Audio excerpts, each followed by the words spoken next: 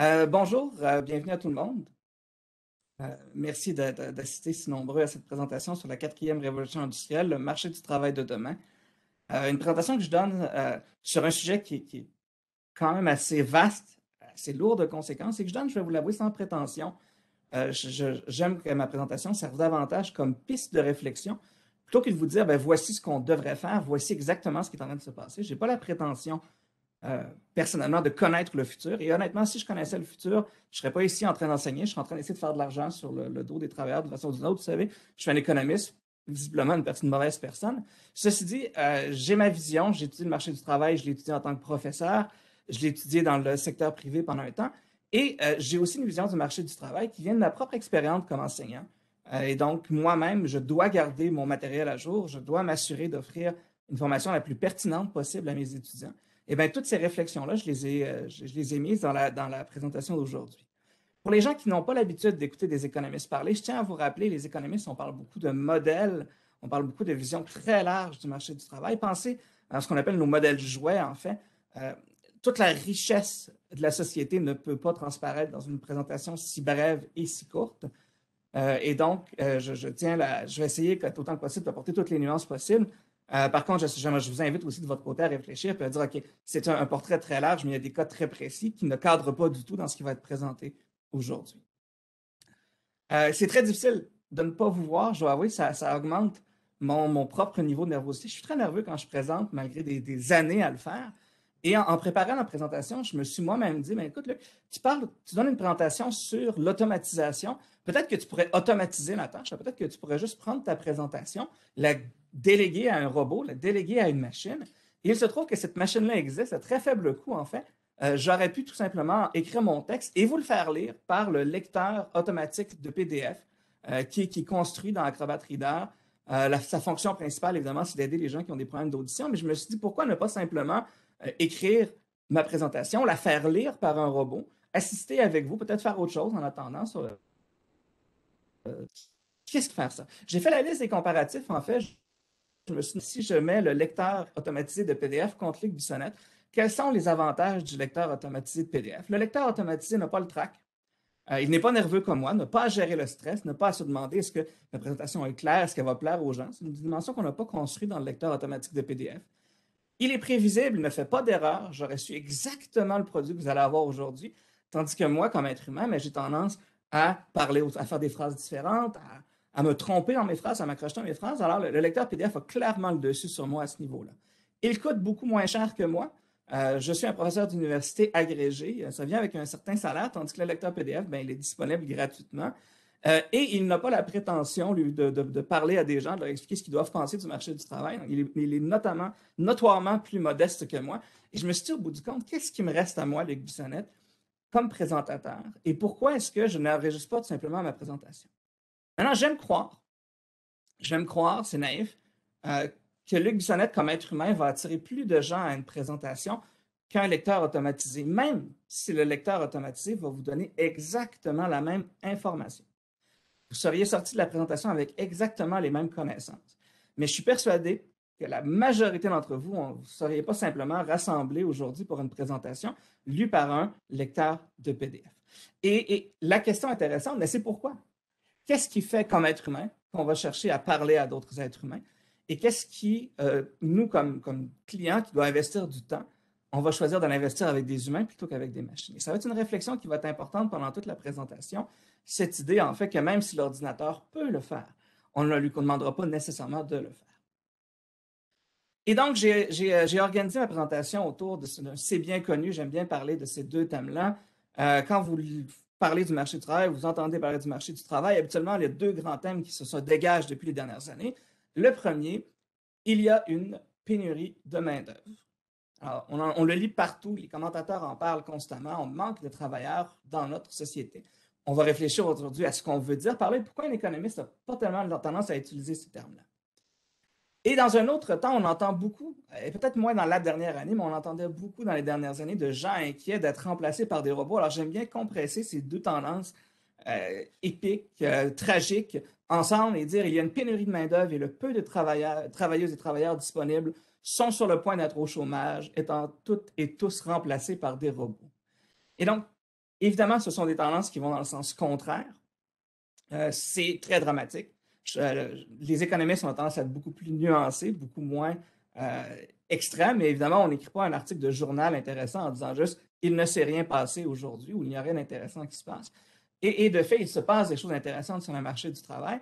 Mais ce que j'aimerais discuter avec vous, c'est que ces choses-là se font de façon progressive, tranquille, euh, et peut-être pas de la façon dont on a l'habitude d'en parler. Évidemment, c'est ma vision personnelle. Euh, plusieurs économistes de réputation vont utiliser le terme pénurie de main-d'œuvre. On est quand même nombreux qui sont très mal à l'aise avec le terme. Et donc, mes objectifs d'aujourd'hui, je me suis fixé quatre objectifs pour la présentation. Euh, la première, partager une vision du marché du travail, un modèle jouet, en fait, pas nécessairement, comme j'ai dit, quelque chose de très détaillé, mais une grande vision pour vous guider dans vos réflexions euh, et pour vous aider un peu euh, en termes d'esprit critique quand vous prenez un article sur le marché du travail à dire oh, qu'est-ce qu'en penserait Luc qu'est-ce qu'en pense la, théorie économique sur le marché du travail? Objectif numéro deux, ce dont je vais parler principalement aujourd'hui, c'est comment cette automatisation ne va pas nécessairement détruire les emplois, mais va certainement les transformer et comment le travailleur d'aujourd'hui, même si son emploi demeure, ne sera pas le travailleur d'hier, le travailleur de demain. Et donc, les machines, les robots amènent des transformations. Et de façon très, très superficielle, on va réfléchir à cette question. Mon troisième objectif, c'est de garder en tête que ce changement-là ne se fait jamais euh, sans, briser quelques-uns. Il y a toujours des gens qui sont victimes, il y a toujours des gens qui sont perdants. Et donc, j'aimerais qu'on parle des travailleurs, travailleuses à risque de se faire remplacer, qui ils sont et comment on peut les aider. Et je me suis fixé comme quatrième objectif de prouver ma supériorité hors de tout doute sur le lecteur automatique de PDF. Et donc, je vous laisserai comme juge à la fin de la présentation à savoir si j'ai effectivement réussi à, vous convaincre que j'étais j'étais un meilleur orateur que le lecteur de PDF. Et donc, j'organise ma présentation de la façon suivante. On parle rapidement de la vision du marché du travail, comment j'aime penser au marché du travail et surtout briser des mythes ou des visions du marché du travail qui ne correspondent pas à la réalité. On va parler rapidement de ce qu'est la quatrième révolution industrielle, qu'est-ce qu'elle va changer pour nous, les travailleurs.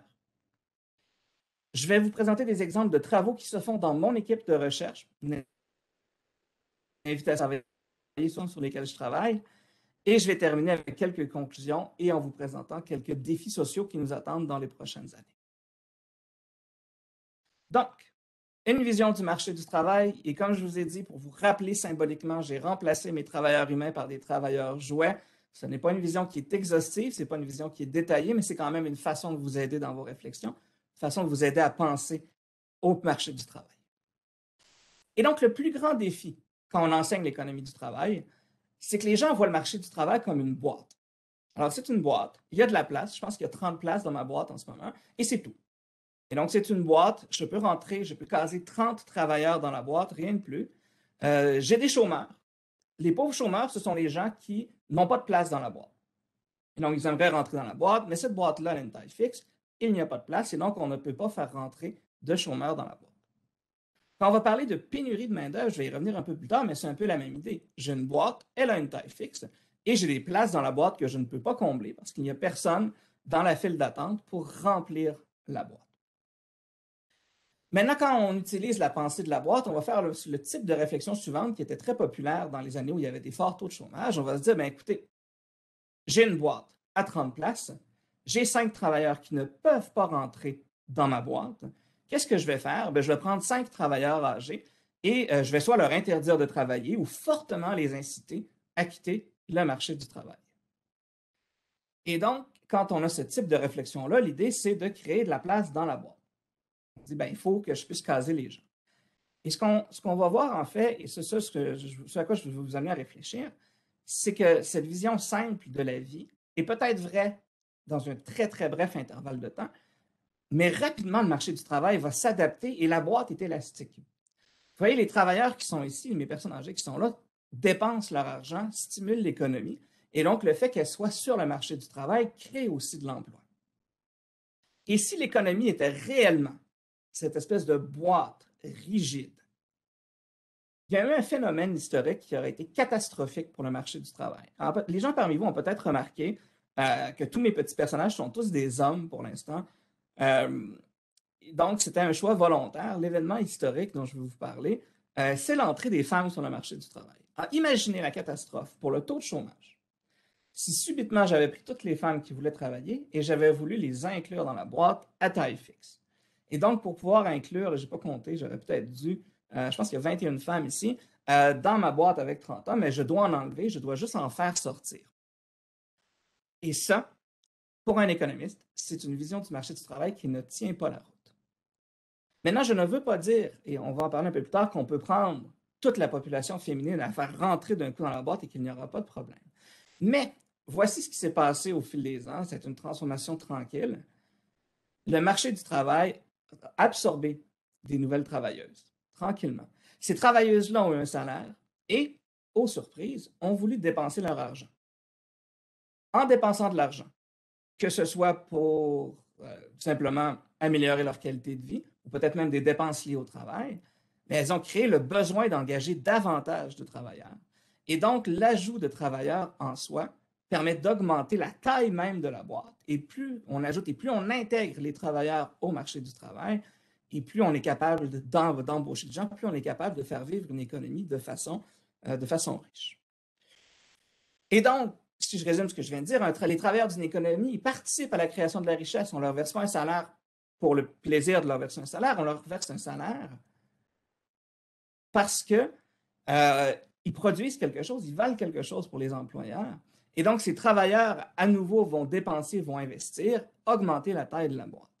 Et maintenant, même un changement assez important de la quantité de main-d'œuvre, ça, c'est quelque chose que les, vraiment les économistes savent depuis longtemps, mais qui, est peu connu.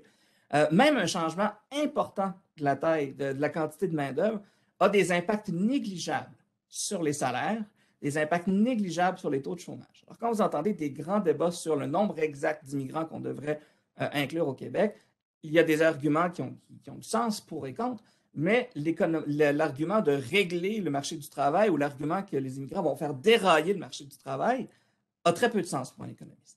Euh, il faudrait une quantité phénoménale d'immigrants qui ne peuvent pas s'intégrer au marché du travail pour avoir un impact significatif sur le taux de chômage ou sur les salaires. Et donc, ne me croyez pas moi, professeur à l'Université Laval, mais demandez à David Card. Euh, entre le moment où on m'a demandé de faire cette présentation-ci et aujourd'hui, euh, il y a eu l'annonce des prix Nobel, et je me l'astérix, c'était le, prix de la Banque de Suède en l'honneur de M. Nobel, donc ce n'est pas un vrai prix Nobel pour les puristes. Ceci dit, nous, on les appelle les prix Nobel d'économie de 2021. M. Card a gagné la moitié du prix cette année, notamment pour ses travaux sur le marché du travail. De façon plus large, David Card a gagné le prix Nobel pour ce qu'on appelle des expériences naturelles.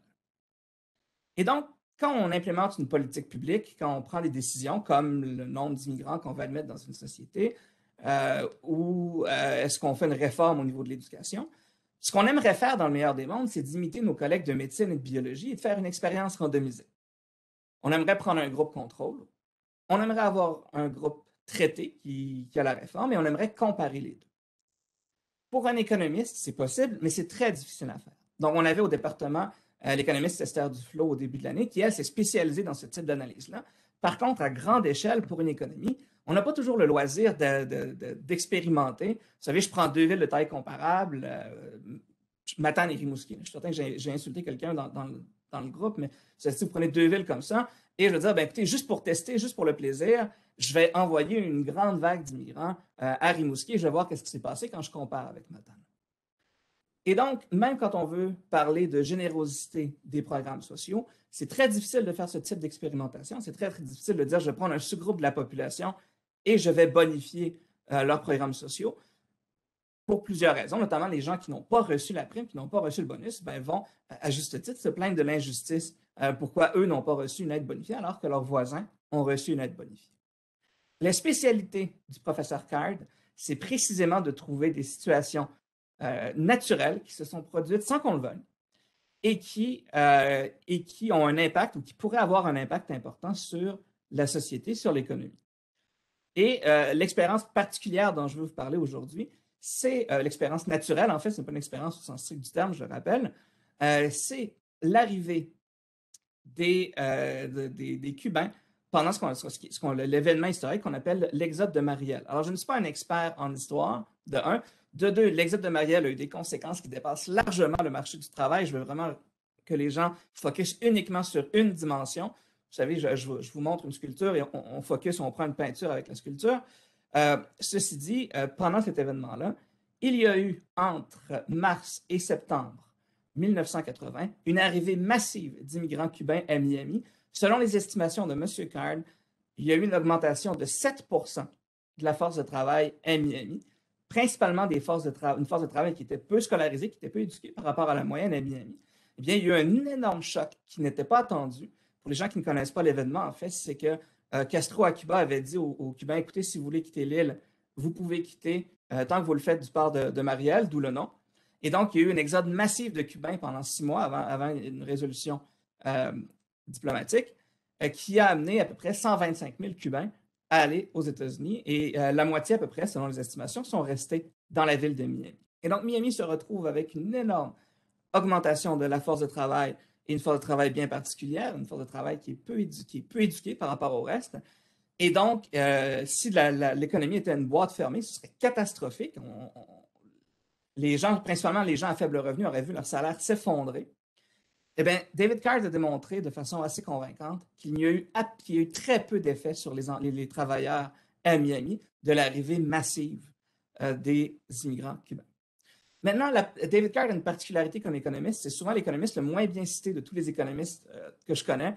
Euh, David Card n'est pas en train de vous dire, et ce n'est pas ce qu'il écrit, vous savez, on peut rajouter autant de gens dans une économie qu'on veut. Ce que David Card écrit noir sur blanc dans l'article, c'est, bien écoutez, si on a une économie comme celle de Miami dans les années 80 qui est capable d'absorber euh, l'arrivée de nouveaux travailleurs, eh bien, il serait très surprenant, il faudrait vraiment une augmentation encore plus substantielle que le 7% pour avoir un effet sur le taux de chômage et avoir un effet sur les salaires.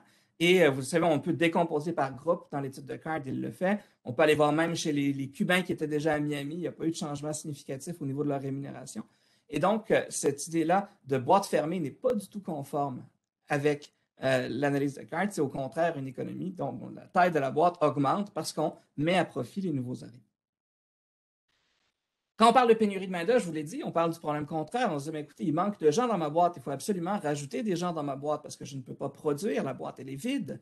Euh, et donc, pour un économiste, on s'attend à ce que la boîte rétrécisse. Il va y avoir différents moyens pour lesquels on va pouvoir faire rétrécir la boîte, euh, mais on s'attend généralement à dire, ben, écoutez, si c'était vraiment problématique, voici ce qui se passerait. Euh, peut-être que les salaires vont augmenter, ce qui va attirer d'autres travailleurs dans la boîte. Euh, peut-être les conditions de travail vont s'améliorer. On parle souvent de salaire, mais si on regarde, si on suit un peu l'actualité, le cas des infirmières est flagrant ici.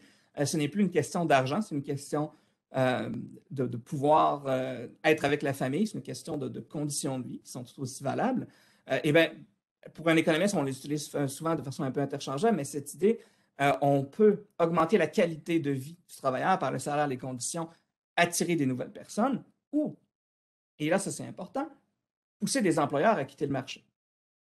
J'entends souvent les gens analyser le nombre de postes vacants comme étant un indicateur de pénurie, et c'est un indicateur, mais il n'est pas parfait. Et j'aime souvent donner l'analogie suivante.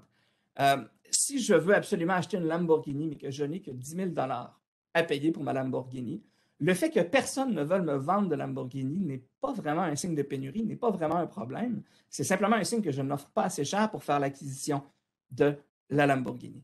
Et euh, pour moi, quand j'entends des quand j'entends des employeurs se plaindre, ah, mais euh, je n'ai pas pu ouvrir parce que je n'avais pas de travailleurs, j'ai perdu beaucoup d'argent. La première question qui me vient en tête, c'est mais est-ce que vous avez offert de séparer 50-50 avec vos travailleurs? Avez-vous amélioré les conditions pour les attirer? Ou avez-vous simplement pris des conditions qui vous semblent être des conditions de marché et vous, vous, avez, essayé de les, vous de les appliquer euh, sur vos travailleurs? Il y a un contre-exemple important.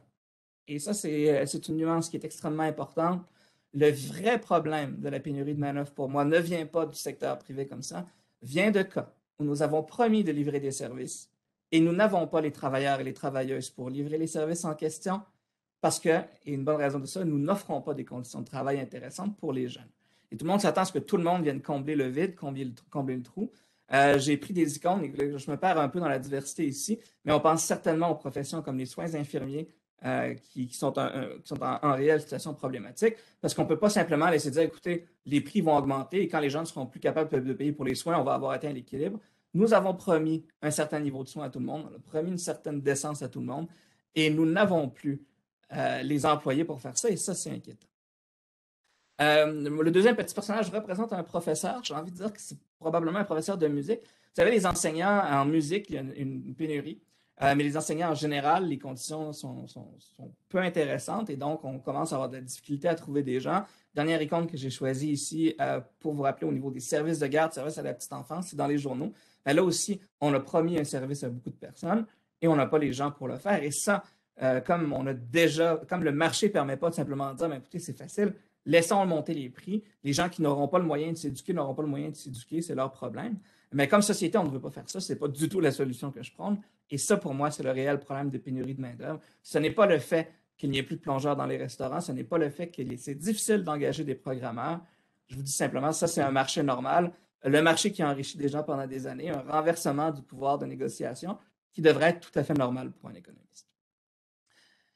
Une solution, par contre, si on veut garder la, la boîte avec le format actuel, c'est de substituer certains des travailleurs par des machines, par des robots, euh, de prendre certaines tâches des travailleurs, de les basculer tranquillement vers des machines euh, et de transformer lui-même le marché du travail. Et ça, pour moi, c'est l'aspect euh, du marché du travail qui est vraiment passionnant, qui est vraiment intéressant. Et si vous venez travailler dans mon équipe de recherche ou si vous venez, vous voulez étudier l'économie avec moi, c'est la dimension qui m'intéresse. Qu'est-ce qu'on fait? comment, comment le marché se travaille? Comment il réagit? Comment l'innovation permet de maintenir un certain standard de vie? Euh, vous voyez, je suis retourné un peu ici à mes, petits personnages qui n'ont pas de métier. Euh, l'idée est quand même de dire, est-ce qu'il y a certaines tâches qu'on peut transférer, qu'on peut automatiser? Et il y en a beaucoup. Euh, on va parler plus tard dans la présentation des animateurs pour le cinéma. J'ai fait un mandat avec le ministère de l'Éducation pour évaluer les programmes des animateurs du cinéma et de la télévision.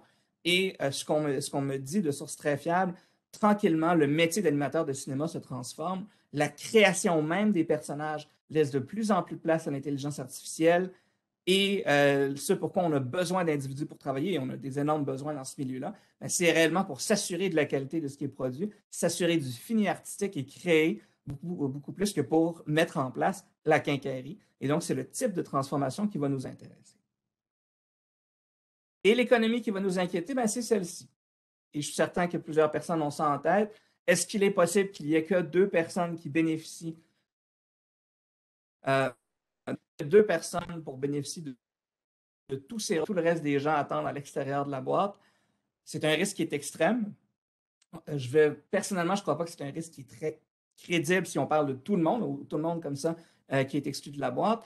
Un bel exemple de ça, c'est la ville de Parkland, qui est réputée à la fois pour ses ingénieurs, vous avez les gens du côté Intel qui travaillent, travaillent très fort, avec l'aspect plus technique, mais qui ont aussi des besoins euh, qui se répercute par une ville qui est, réputée pour euh, son, son, euh, artisanat, pour ses restaurants, pour ses spectacles. Et donc, les gens qui sont dans la boîte vont vouloir consommer, vont vouloir acheter des produits. Eh bien, ceux-là vont stimuler de l'emploi aussi. Donc, cette espèce de cas extrême m'inquiète plus ou moins. On va voir quel cas m'inquiète un peu plus tard. Cette discussion-là, c'est une discussion qu'on a périodiquement à les économiques. Wassily Leontiev, un autre prix Nobel d'économie, euh, écrivait, j'ai laissé en anglais ici, mais je vais vous lire en français, euh, écrivait dans, euh, dans le New York Times en 1983 qu'il était très pessimiste par rapport à l'arrivée des machines. En 1983, il disait, écoutez, les humains, nous sommes en train de devenir des chevaux qui allons se faire remplacer, on doit être redondants, et je ne, je ne perçois pas un monde qui pourrait créer assez d'emplois pour employer tous les gens qui veulent se faire employer. Et euh, donc, Léontiev est cité ici par deux autres économistes qui vont expliquer pourquoi Léontiev s'est trompé, mais cette idée-là que le changement technologique détruit beaucoup d'emplois, c'est pas neuf. Euh, c'est quelque chose qu'on a vu souvent par le passé. C'est quelque chose auquel on, réfléchit comme économiste. Donc, je quitte, mon modèle de la boîte euh, pour vous parler un peu de cette révolution industrielle, comment on l'aborde, nous, les économistes? Peut-être vous dire même ce qu'elle est, cette révolution industrielle. Et donc, euh, je ne suis malheureusement pas l'expert de la situation. Euh, il y a des gens beaucoup mieux placés que moi à la faculté pour vous en parler, mais voici ce que j'en comprends. On est à la quatrième révolution industrielle. Et donc, ça suppose qu'il y en a eu trois avant. Euh, je suis un expert de logique. Cette première révolution industrielle, ben, c'était principalement la mécanisation, l'arrivée des machines, des machines à vapeur principalement. et la plupart des experts que j'ai lus s'entendent pour dire qu'elle n'a eu que très peu d'impact sur le bien-être des individus. En gros, on va résumer la première révolution industrielle comme, écoutez, vous étiez pauvre en campagne, vous êtes maintenant pauvre en ville. Et c'est un grand changement en termes de structure de production, en termes d'industrie.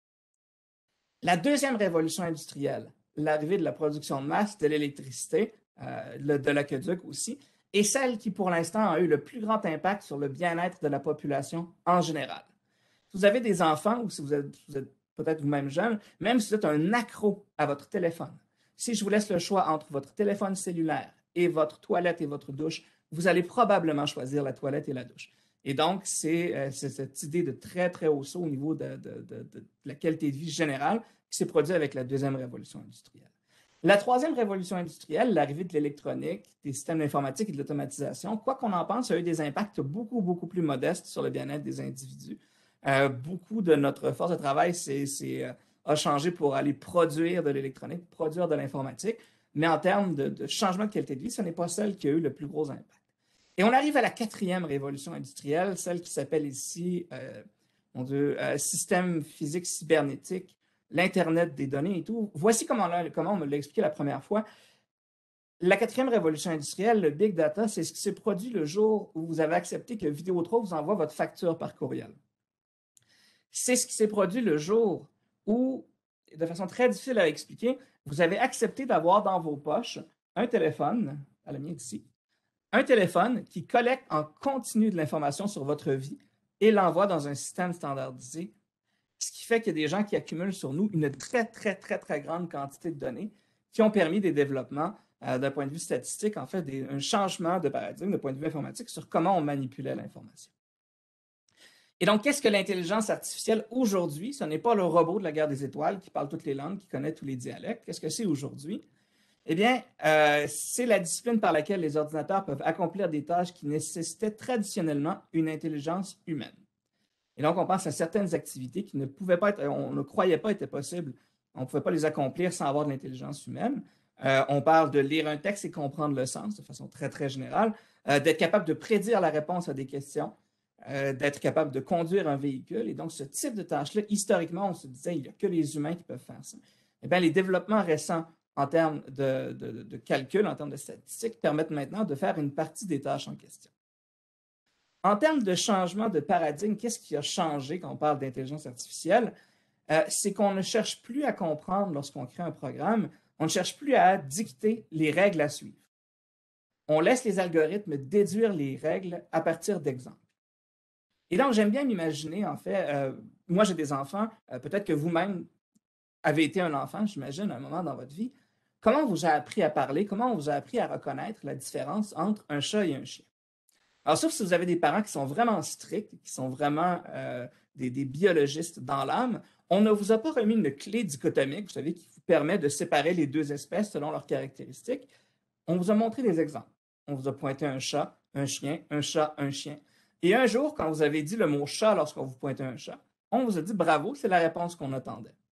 Même chose avec les couleurs, du bleu, du orange, du bleu, du orange. Même si les objets étaient différents, un jour, vous avez vous-même déduit que la réponse qu'on attendait euh, lorsqu'on vous montrait du orange et du bleu, eh c'était orange si on vous montrait du orange et bleu si on vous montrait du bleu. Et donc, voici ce qui a changé en termes scientifiques, si on veut, de façon très, très large, évidemment. Avant l'arrivée de l'intelligence artificielle comme on la connaît aujourd'hui, il fallait donner en input des données et des règles pour avoir une réponse. Je devais avoir des données. Je devais dire, voici les règles qui me permettent d'obtenir les réponses pertinentes et je m'intéressais à la réponse. En termes de flot d'analyse, on fait maintenant la chose suivante. Je donne à l'ordinateur des données et des réponses. Et l'ordinateur va déduire des règles que je vais pouvoir appliquer sur d'autres exemples par la suite. Et ça peut sembler très simple, mais euh, c'est possible grâce à l'énorme quantité de données qui est maintenant disponible pour, euh, pour l'analyse, euh, notamment parce qu'on on, collecte cette information-là en continu, comme je vous disais, par des, téléphones. On a beaucoup d'informations sur vous. L'ordinateur n'est pas très doué pour inférer à partir d'une poignée d'exemples. L'être humain est très doué pour le faire, classifier à partir seulement de quelques exemples. L'ordinateur a besoin de beaucoup d'informations, mais cette information-là est disponible aujourd'hui. Et donc, ce qui a changé fondamentalement, c'est qu'un ordinateur qui a suffisamment de données va être capable d'inférer des règles. Ce qui veut dire aussi, si on renverse la situation, qu'un ordinateur ou une machine qui n'a pas beaucoup de données est incapable de comprendre ce qui se passe. Un ordinateur pour lequel on a changé les règles du jeu vous savez, par exemple, on, apprend aux ordinateurs à, jouer aux échecs, à jouer au Go. Si on change les règles, si on change une règle, l'ordinateur ne sait plus comment jouer, n'a pas appris les règles, a appris à reconnaître les situations. Eh l'être humain a cette capacité beaucoup plus forte à comprendre une situation inconnue hein, et à, trouver une solution dans une cas de situation inconnue. Et ça, c'est extrêmement important pour un économiste. Parce que ce que ça nous dit, c'est quand je prends ma boîte et je la remplis de robots, voici les tâches qui devraient rester du côté des humains. Ils sont meilleurs, ils ont un avantage sur la machine à le faire, et voici les tâches pour lesquelles les machines sont supérieures. Voici ce qu'on devrait leur confier. Euh, évidemment, je vois le temps qui file, il me reste quelques minutes pour parler. Je vous invite à lire l'excellent Prediction Machine, euh, un livre par Agrawal, Gans et Goldfarb sur le sujet, si vous voulez creuser. Et on a beaucoup d'exemples de ces changements qui sont survenus au fil du temps. C'est une excellente analyse de la situation, mais euh, le temps file et donc je vais, continuer avec ma présentation. Je vais continuer en vous parlant d'exemples, peut-être pour vous illustrer un peu ce que, je veux dire. Quatre, quatre, corps de métier ici que j'ai choisi, quatre professions pour vous dire ce que je m'attends ou ce qui pourrait se produire. Je commence par pharmacien, pharmacienne, qui est mon métier favori quand je donne des présentations comme celle-ci. Je ne comprends pas le métier de pharmacien aujourd'hui. C'est un métier qui, qui, me dépasse complètement. Comment est-ce qu'il peut encore exister? Il n'y a rien, rien qui rend la tâche complexe en termes de dire voici le médicament que vous devriez prendre, voici la dose que vous devriez prendre. D'un point de vue technique, c'est très facile de programmer un ordinateur pour le faire. L'ordinateur pourrait prendre en compte beaucoup plus de caractéristiques que ce qu'un être humain peut prendre. Il pourrait prendre votre diagnostic, euh, vos caractéristiques démographiques, vos autres médications et obtenir une excellente prédiction de ce que vous devriez prendre. Ce métier-là, pour moi, n'a pas de sens. Mais le métier qui a du sens, par contre, c'est que moi, je suis un père de famille, je vous l'ai dit. Quand mes enfants sont malades, quand il y a un problème, je vais voir le pharmacien. Et j'ai besoin de ses conseils. J'ai besoin qu'on comprenne mes besoins. J'ai besoin de me faire réconforter parce que souvent, c'est des trucs qui sont normaux. Euh, pensez aux pharmaciens qui sont souvent des premières lignes de soins pour des personnes âgées, particulièrement dans les, par exemple aux États-Unis où le système de santé est beaucoup moins bon. Il reste fondamentalement une partie clinique, une partie aide aux êtres humains, une partie s'assurer que les gens ont compris les consignes qui est important et qui, en date d'aujourd'hui, est impossible à remplacer ou très difficile à remplacer. Disons, il y a peu de sens économique de confier ces tâches-là à une machine. Euh, on pense au service à la clientèle. Fondamentalement, s'il euh, si, y a un domaine où on se dirait, ben, ça, c'est très difficile d'avoir des machines, euh, il y a quelques années, Microsoft a remplacé, au niveau du chat, si vous posez une question sur votre Xbox, la première ligne pour répondre à la question, c'était une machine. Et donc, on commençait par poser la question à la machine et si la machine avait vu suffisamment de fois votre question, pouvait vous aider, la machine donnait une réponse à la question. Si la machine ne trouvait pas de réponse, eh bien, on prenait votre question et on l'envoyait à un humain. Parce que c'était peut-être une nouvelle question qui n'avait jamais été rencontrée. Euh, peut-être que vous utilisiez des, mots difficiles à comprendre. Peut-être que la façon de poser la question était difficile. Et donc, dans ce cas-ci, on avait un travail qui se faisait en équipe. La machine en faisait une partie, l'humain en faisait une partie. Au niveau des avocats, avocates, des professions légales, euh, lire des textes, comprendre le sens est de plus en plus facile. Euh, une connaissance euh, qui étudie en droit me disait qu'il y a même maintenant des, sites pour prédire quelle est la probabilité qu'un argument fonctionne en cours. et vous pouvez comparer plusieurs arguments. Bon, je ne suis pas un expert, évidemment. et donc, cette partie-là, tranquillement, disparaît, va peut-être disparaître, surtout si on manque de gens. Mais il reste une partie plaidée, négociée, qui n'est pas encore tout à fait à la portée des machines. Je suis persuadé que vous ne voudriez pas qu'une machine tranche pour votre divorce. Euh, simplement, vous savez rentrer votre information, la machine vous dit voici, euh, voici ce qu'il en est. Et donc, le système, euh, au niveau de la discussion, de la médiation, ça va rester. C'est quelque chose qui n'est pas prêt de disparaître. Et je mets le dernier terme, que je mets en sachant très bien qu'il est offensant d'une certaine façon. Je mets le terme femme de ménage, aide ménagère, peu importe, parce que j'entends souvent dans les conférences dire, et vous savez, c'est le prochain emploi à disparaître, on fait du ménage, ce n'est pas une tâche qui est complexe. Et je peux vous garantir, je peux vous promettre que quelqu'un qui soutient que les tâches ménagères sont faciles à remplacer n'a jamais travaillé dans un hôtel. Si vous êtes comme moi, que vous avez travaillé dans un hôtel, vous savez que l'inventivité et la créativité de l'être humain pour salir une pièce et détruire une pièce est sans limite. Et donc, il n'y a rien, d'après moi, dans le travail d'une femme, de, femme de ménage, d'une ménagère qui peut facilement être remplacée. Euh, c'est un métier qui reste fondamentalement humain. Et pourquoi j'ai incité à utiliser le mot femme? C'est pour faire une, transition vers le graphique suivant que j'aime beaucoup, produit par McKinsey en 2018. Euh, et donc, on, analyse ici les 100 occupations euh, les plus populaires au Royaume-Uni. C'est à peu près 70% de la force de travail, c'est ça, des Royaumes-Unis. Et on a à l'horizontale le potentiel d'automatisation de certains emplois. Et ce qu'on a à la verticale, c'est le salaire. Maintenant, on voit plusieurs euh, occupations à relativement faible salaire qui sont euh, facilement automatisables selon McKinsey. On peut avoir, on peut avoir des, doutes sur certaines parties. Certaines parties sont certainement vraies. Mais ce qui nous intéresse, c'est leur code de couleur, qui est extrêmement intéressant. Regardez le code de couleur. Les professions en bleu sont des professions qui sont principalement féminines. Les professions en noir sont des, des professions qui sont principalement masculines. Et entre les deux, il y a les professions grises. Et regardez bien ce qu'on voit euh, à gauche ici, ce sont principalement des professions féminines qui sont difficiles à remplacer. Ce sont des professions qui sont basées sur les soins, donner des soins. On a des, euh, euh, les, enseignants ici au niveau, au niveau primaire, on a les, infirmières, on a, vous voyez ici, les, cleaners, les gens qui font de l'aide ménagère qui sont là. Et donc, ces professions-là, qui sont très difficiles à automatiser, sont des professions féminines de façon extrêmement intéressante, je pense, ce qui nous annonce un certain renversement dans les prochaines années au niveau de euh, qui, va être en, qui va être en demande sur le marché. Et donc, c'est un sujet qui nous intéresse beaucoup dans mon équipe de travail aussi. Est-ce qu'on le voit déjà, ce phénomène-là? Euh, et, oui, effectivement, on voit euh, des, des, spécialisations des étudiantes avant qu'elles rentrent sur le marché du travail qui correspondent à ces idées-là et qui ont ces femmes qui ont développé des aptitudes très difficiles à remplacer, pour les machines, à remplacer par des machines. et donc, de façon générale, ce que je viens de vous dire, c'est que pour qu'une tâche soit automatisée, ben, il faut que ça ait du sens d'un point de vue économique. Il faut vraiment que la machine ait un avantage sur l'homme. Le fait qu'une machine puisse faire quelque chose ne veut pas dire qu'on va lui confier la tâche. Euh, il faut euh, que ça ait du sens d'un point de vue de coût. Il faut que ce ne soit pas trop cher de confier à une machine. Mais il faut aussi qu'en en, tant que client, que j'ai envie de, laisser une machine faire le travail.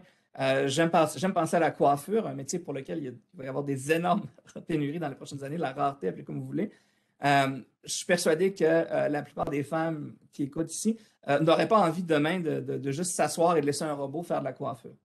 Il y a un aspect, il y a un aspect esthétique, il y a un aspect cosmétique qu'on préfère vraiment laisser à l'être humain et qui, qui, me fait dire, ben, pour qu'un métier soit remplacé, il faut non seulement que l'ordinateur puisse le faire, mais il faut qu'on ait envie de lui confier la tâche.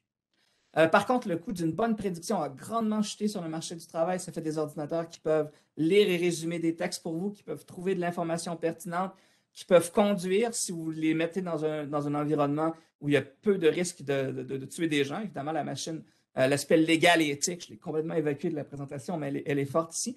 Mais, euh, par exemple, conduire de la machinerie lourde dans une mine où il y a très peu de risques d'avoir un accident qui, qui, blesserait quelqu'un, mais c'est des tâches qu'on peut, facilement transférés à des machines de nos jours. Ceci dit, l'humain a un avantage pour les tâches sociales, les tâches créatives qui ne se dément pas, et un avantage pour faire des nouvelles tâches, développer des nouvelles technologies, euh, et ainsi de suite, et ça, ça reste.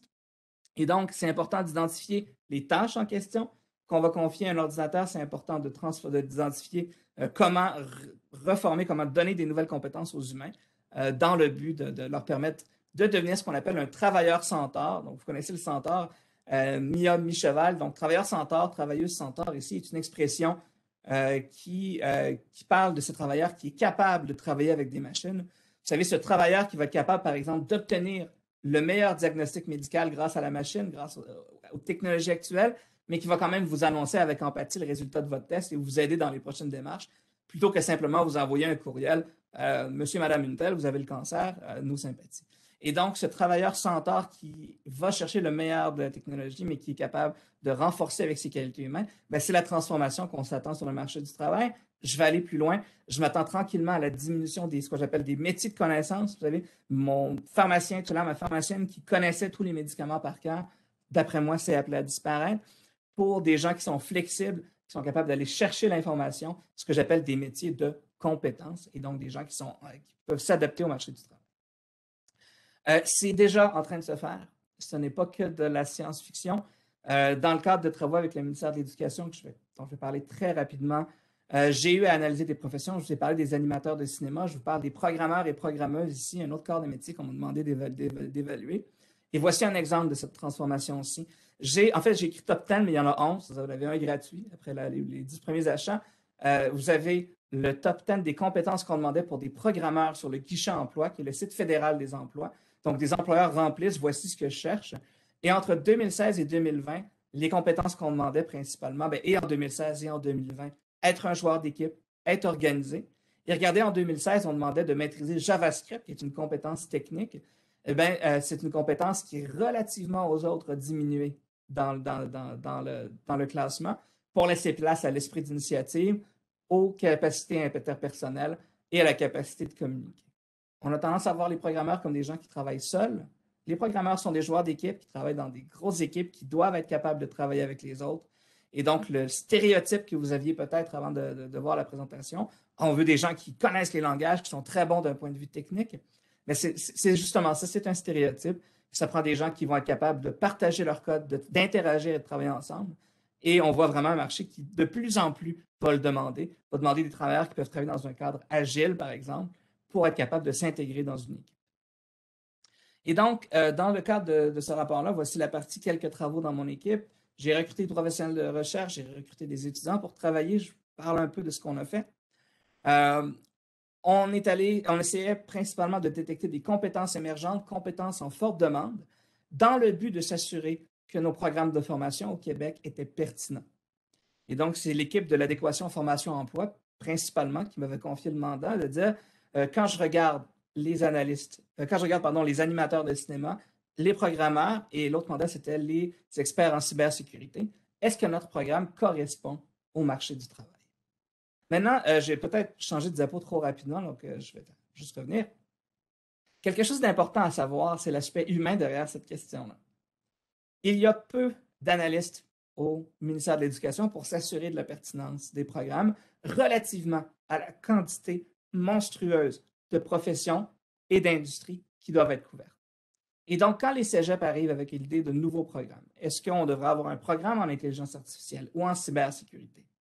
C'est très difficile pour eux d'avoir des experts pour avoir le dialogue avec l'industrie. Ils sont débordés. Et donc, une question qu'on m'a posée, enfin, indirectement, c'était Luc, est-ce que tu peux nous développer des méthodes? Est-ce que tu peux exploiter l'intelligence artificielle pour faciliter notre tâche, faciliter notre travail? Et donc, euh, le premier cas d'analyse ici, euh, c'est celui des animateurs pour le cinéma. Euh, et ce qu'on a fait, en fait, pour parler des besoins du marché, on est allé chercher des offres d'emploi en ligne. On a trouvé des offres d'emploi 456 dans ce cas-ci sur un site spécialisé en cinéma. on a accès à la description complète du poste. Et notre objectif, c'était de voir comment les descriptions ont changé au fil du temps. Et donc, c'est un peu, euh, c'est un grand plaisir pour moi, ce projet-là, pour une raison. Vous savez, je suis professeur d'économie à la Faculté des sciences sociales à l'Université de Laval. Mes collègues, les collègues des autres disciplines peuvent nous dire des phrases comme euh, écoutez, c'est facile, euh, avec des chiffres, on peut dire n'importe quoi. Et donc, ce projet-ci m'a permis de manipuler cette entité notoirement difficile à agencer pour dire n'importe quoi on a fait une analyse des mots qui sont contenus dans une offre d'emploi. Apparemment, c'est difficile de manipuler des mots pour dire n'importe quoi. Euh, plus sérieusement, en fait, euh, au-delà de la boutade, on est allé chercher toute l'information contenue euh, très riche dans des offres d'emploi comme celle-ci, qui, dans le fond, on prend une offre comme celle-ci, artiste en rigging. Je ne savais pas ce qu'était le rigging avant de faire le projet. Je l'ai appris parce que c'est un mot qui revenait souvent. On prend la description du poste, les responsabilités, et on va voir dans un premier temps comment est-ce que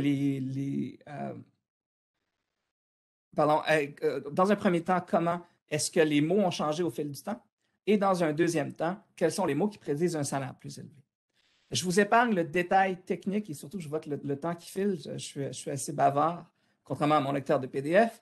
Dans une première approche, travail joint avec Charles Roy, étudiant de maîtrise, qui est à venir sous peu dans, dans le Québec économique, pardon, euh, nous avons simplement cherché à prédire l'année de parution à l'aide de, méthodes d'intelligence artificielle en ramenant les articles, euh, les différentes offres, les différentes offres d'emploi à des mots, une série de mots. Est-ce que le mot est présent ou n'est pas présent dans une annonce? Et on est allé prédire euh, quels sont les mots qui prédisent une parution, pardon, une offre d'emploi en 2020 ou en 2019, par exemple. quelque chose de récent. Et cette méthode très simple de procéder euh, nous a permis d'identifier, par exemple, certaines technologies, c'est principalement à Montréal, euh, qui augmentent ou qui diminuent en popularité. Nook, Maya, un est en hausse, l'autre est en baisse. Donc, c'est peut-être temporaire, mais disons, c'est la tendance qu'on observe. nous a permis de réaliser que, que euh, l'industrie est friande des nouveaux diplômes qui sont créés par le ministère. On les demande, les diplômes, c'est une bonne nouvelle pour eux. Et nous a permis, et ce n'est pas du tout ce qu'on cherchait, de voir que les offres d'emploi sont écrites de façon à être de plus en plus inclusives et de favoriser la diversité.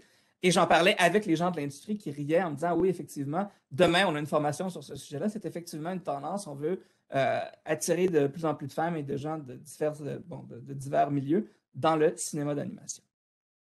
Mais on est allé encore plus loin avec cette étude-là, et ça, c'est très préliminaire. Euh, mais je travaille à essayer de prédire le salaire pour dire quels sont les mots qui valent cher dans une offre. Quels sont les mots pour lesquels il y a une rareté relative? Parce qu'on est prêt à vous donner beaucoup d'argent si vous maîtrisez les mots en question. Et donc, ce, travail-là repose sur à peu près 800 000 offres d'emploi que je n'ai pas lues moi-même, évidemment. Je les ai traitées avec des logiciels.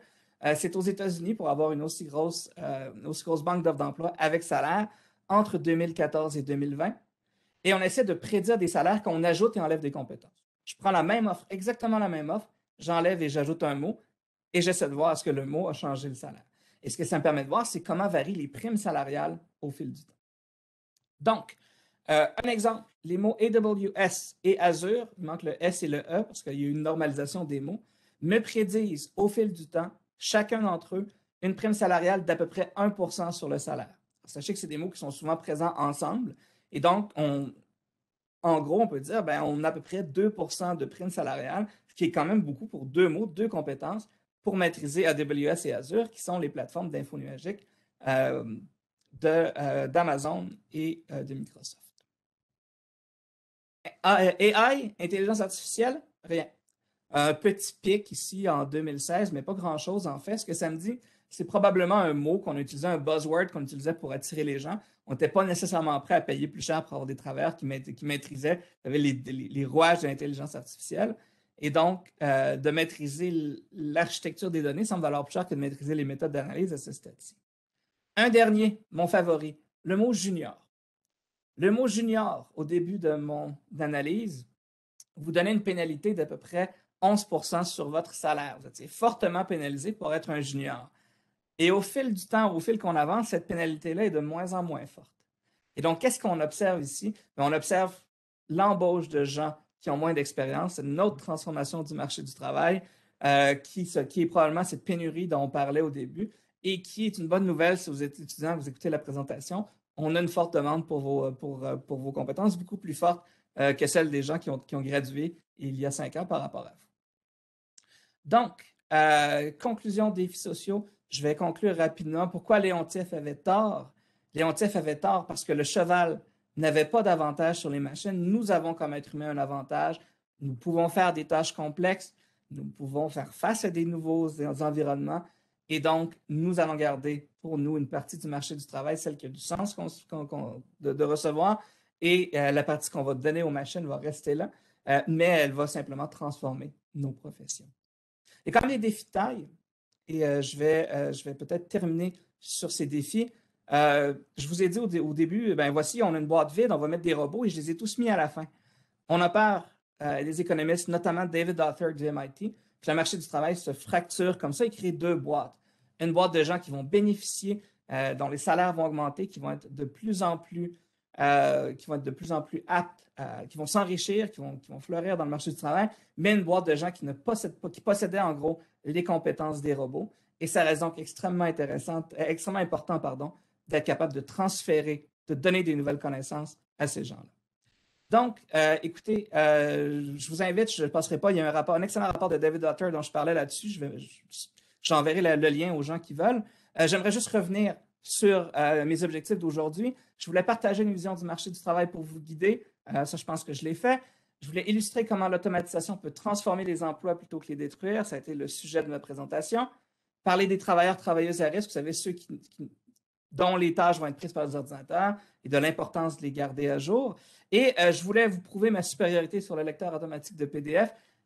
À ce stade de la présentation, je ne sais pas si j'ai réussi, mais je vais faire quelque chose par contre euh, pour démontrer cette supériorité et euh, je vais prendre quelques questions que vous pouvez avoir.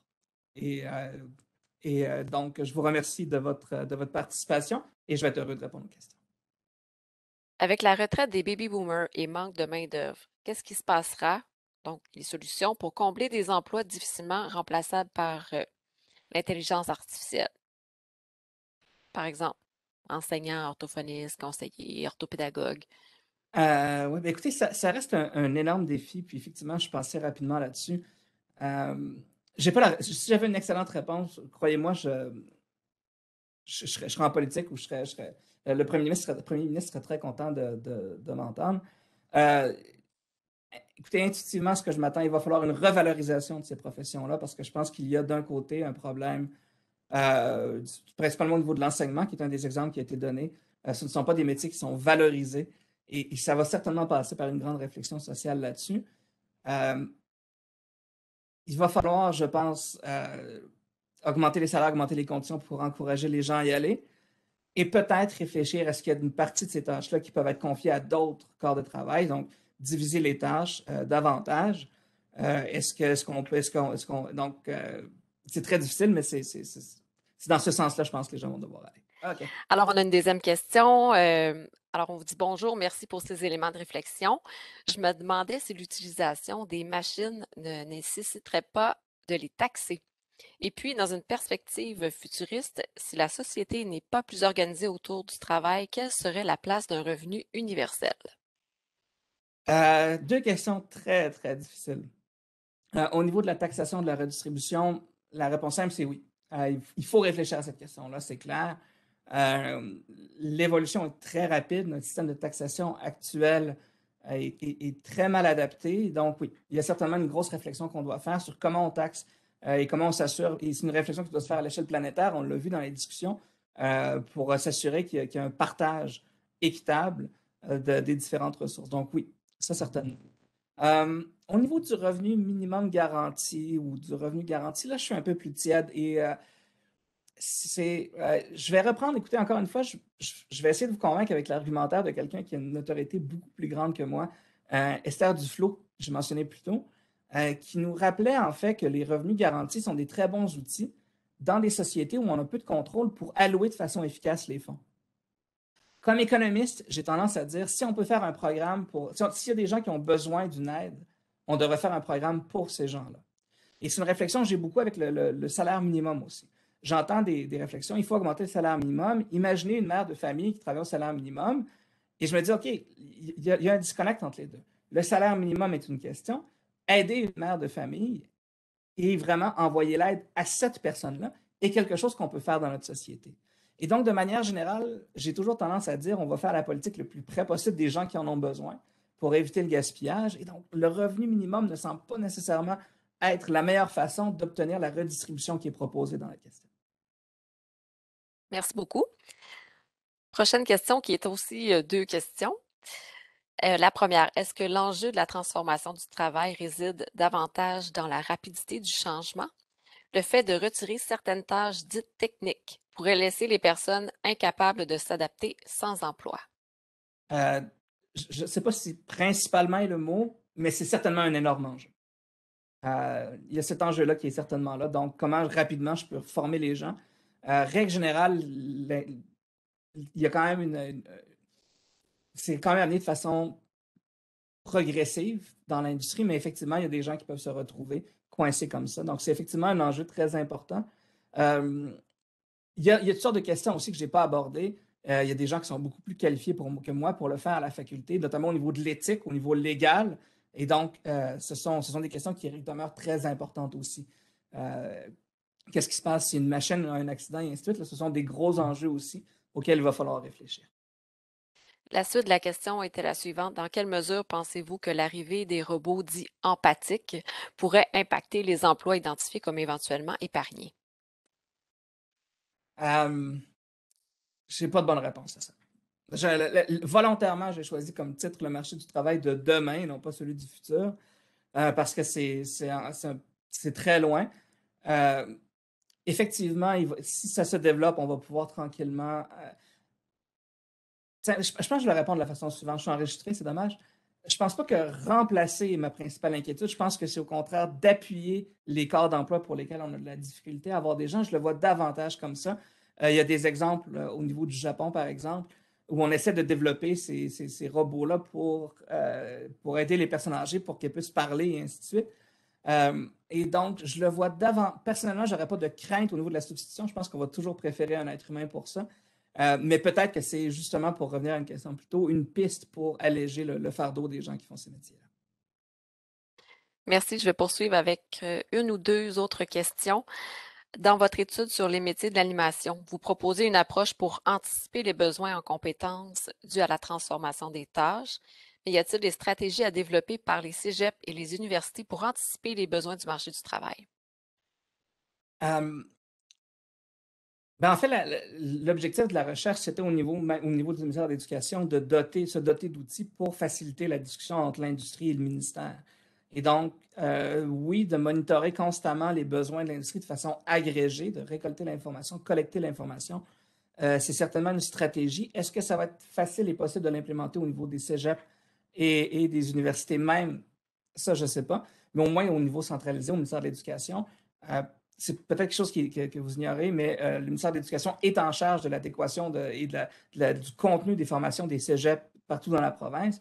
Eh bien, eux, c'était vraiment leur objectif de pouvoir faciliter, euh, pas que les méthodes d'intelligence artificielle que je propose soient le, sans appel, on a trouvé ça, mais au moins de pouvoir euh, les placer dans la même pièce que des gens en cybersécurité et qui parlent le même dialogue, qui comprennent euh, les, différents enjeux. Donc, cette collecte-là massive, cette vigie continuelle, évidemment, pour faciliter le dialogue avec l'industrie, semble être la bonne, la bonne stratégie dans ce cas-ci. Du moins, c'est ce que je propose. Est-ce que cette étude-là, elle est accessible présentement? pas encore. Euh, c'est une énorme brique de 300 pages, j'attends, mais ça devrait être disponible dans les. Euh, euh, c'est en révision au niveau du ministère de l'Éducation, ça devrait être disponible dans, les prochains jours. Peut-être si je regarde le chat, je vois des gens qui, ont posé des questions là. Au niveau de l'éthique, quelqu'un qui fait un commentaire, c'est très vrai. Et au niveau des caissières qui ne sont pas disponibles, effectivement, les gens ont une préférence des caissières qui. Et quand je dis qu'il faut qu'un changement ait du sens d'un point de vue économique, le fait que les gens veulent des interactions humaines, c'est une composante très importante de ce qui a du sens ou ce qui n'a pas de sens. Et donc, ça, il faut toujours le garder en tête. Les gens vont vouloir continuer à parler avec des gens. Les gens ne voudront pas aller au restaurant pour se faire servir 100 par des robots. Il y a une expérience client qui est importante. Et, ça, on, sous-estime l'importance que ça a, je pense, sur le marché du travail. Les gains de productivité du travail peuvent augmenter les besoins en main-d'œuvre des entreprises qui sont de plus en plus performantes. Oh, ça, c'est absolument vrai. Quand je dis que la boîte, la taille de la boîte va augmenter, euh, ça crée de l'emploi. C'est une des conclusions principales au niveau de, euh, Vous regardez des films de recherche comme Gartner, Forrester et compagnie, ce qu'ils vont vous dire, c'est euh, on, crée les robots, les robots nous rendent plus productifs, les robots nous permettent de consommer plus. Et donc, oui, c'est aussi un moteur positif de façon générale pour, pour l'économie. Ça, c'est très vrai.